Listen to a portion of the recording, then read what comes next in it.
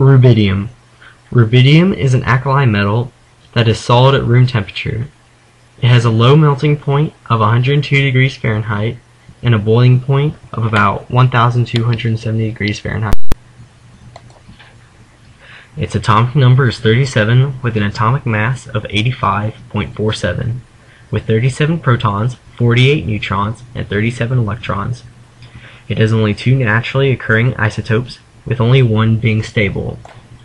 It is found in group 1 period 5 with an atomic size of 265, ionization energy of 403, electronegativity of decimal 82, and an ionic size of 166.